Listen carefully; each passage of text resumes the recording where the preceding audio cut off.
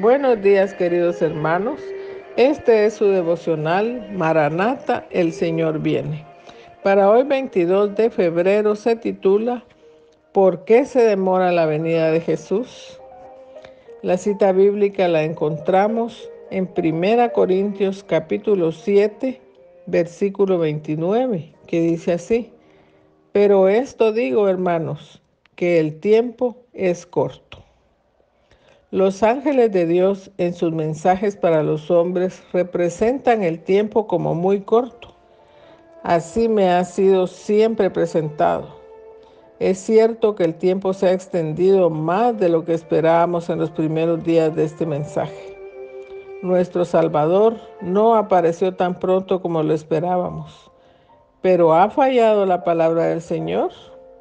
Nunca debiera recordarse que las promesas y amenazas de Dios son igualmente condicionales. Dios ha confiado a su pueblo una obra que debe efectuarse en la tierra.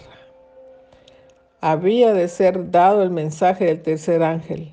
Las mentes de los creyentes habían de ser dirigidas al santuario celestial, donde Cristo ha entrado para hacer expiación por su pueblo la reforma del día de reposo había de ser llevada adelante. Debe ser reparada la brecha en la ley de Dios. El mensaje debe ser proclamado con fuerte pregón para que todos los habitantes de la tierra puedan recibir la amonestación. El pueblo de Dios debe purificar su alma mediante la obediencia a la verdad y estar preparado para encontrarse con Él sin falta en su venida.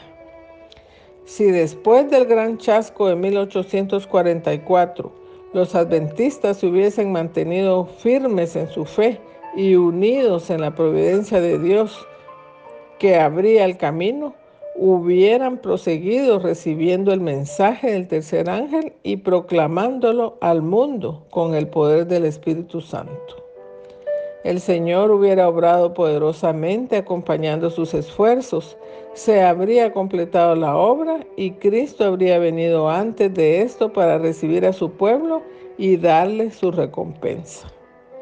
Pero muchos de los creyentes adventistas claudicaron en su fe en el periodo de duda e incertidumbre que siguió al chasco.